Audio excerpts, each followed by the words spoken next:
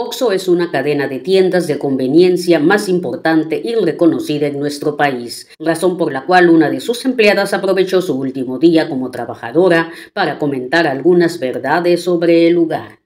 Comenzamos.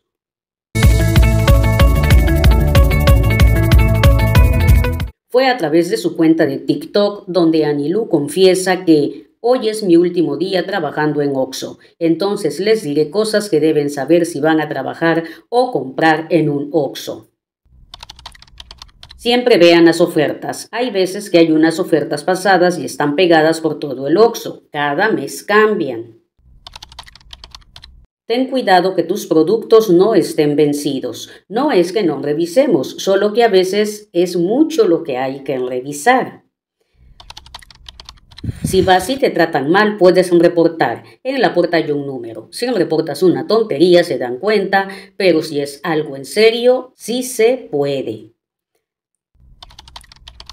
Ahora, si vas a trabajar en un OXO, debes de entender que te va a tocar mucha gente grosera, que te va a tratar mal por el simple hecho de trabajar en un OXO y no tienes que acostumbrarte.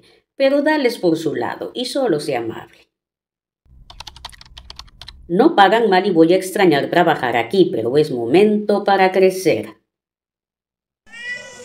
Y es que esta chica oriunda de Guadalajara trabajó en el Oxxo para pagar sus estudios y ahora ya se va a dedicar a su profesión. ¡Qué bien!